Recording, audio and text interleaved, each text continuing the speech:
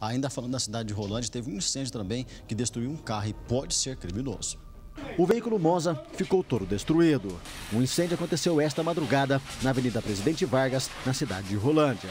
A agilidade do Corpo de Bombeiros evitou que a casa também fosse atingida pelas chamas. Ainda bem que teve um vizinho, né, que ele prontamente é, socorreu a, a, a, essa casa ali, jogou com uma mangueira de jardim, né? Ele foi é, assim jogando na, na, parede da residência e com isso é, foi, foi de, de, certa ajuda, né? Que poderia realmente é, ter se, se alastrado para residência e casa de, de, madeira queima muito facilmente. Né? Segundo a polícia, um incêndio pode ter sido criminoso. Debaixo do veículo e havia é, não sei se talvez até o dono tenha esquecido alguma coisa por baixo e tenham colocado, ou realmente alguém colocou é, algum, algum material que, que, é combustível, né, um mato, mais uma espuma lá, para pegar fogo na parte da, da frente do veículo ali.